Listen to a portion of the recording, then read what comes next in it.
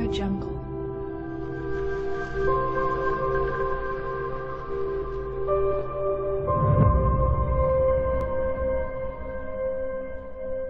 Audio Jungle.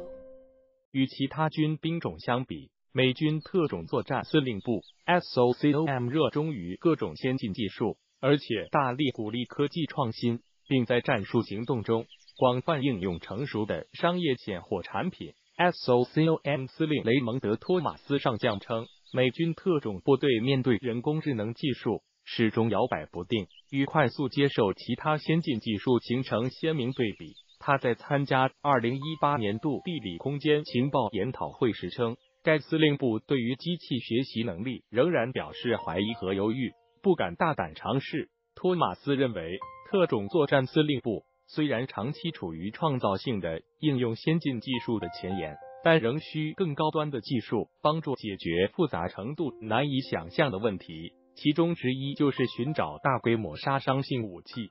权责移交美国防部，二零一六年将避免大规模杀伤性武器落入恐怖分子之手。这一任务由美军战略司令部移交至 SOCOM。该任务被公认是高难度、高危险的艰巨的全球性难题。其中最大的难点是必须对众多来源的海量信息进行汇总、梳理和分析。而机器学习工具所训练出的计算机在信息处理方面独具优势，能够精准、快速的找到人名、地点、时间等关键语汇。任务艰巨，SOCOM 在接受任务后，很快意识到了问题的复杂性，甚至花费了大量时间重新定义相关技术和概念。大规模杀伤性武器的范围从街边放置的脏弹到核武器、导弹以及生化武器。其使用者和受害者包括国家型、为体和非国家型为体。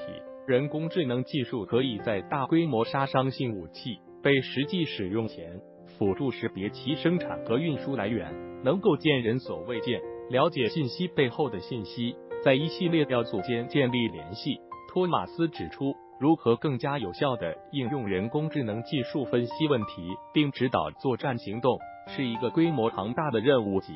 SOCOM 将向较早应用人工智能技术且经验丰富的情报界寻求帮助。美军在全球九十个国家部署约八千名特种作战人员，可获取大量的一线情报。仅二零一七财年就通过缴获的低军设备，收集了一百二十七万亿字节的数据资料，另有无人机传感器传输的大批实时视频，相关数字呈逐年递增态势。作为对比。二零一一年击毙本拉登的海神之矛行动所收集的数据量为二点七万亿字节，类似追踪恐怖组织和大规模杀伤性武器等任务收集的情报信息，对于数据处理能力而言，无疑是严峻的考验。托马斯相信，机器学习能力将在问题解决过程中发挥一定作用。目前，SOCOM 位于佛罗里达州坦帕的总部内，共有七十五名。来自国家地理空间情报局的分析员全职负责数据处理任务。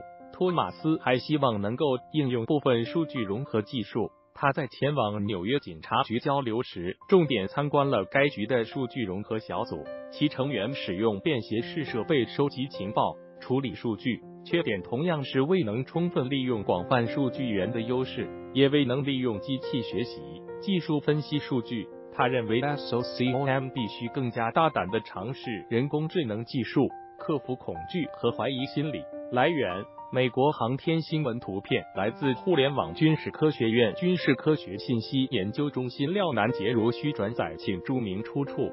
国防科技要闻：ID CDSTIC。人工智能、陆军、海军、空军、航天、网络空间、电子信息和武器精确打击、新概念武器、基础科学技术与能源。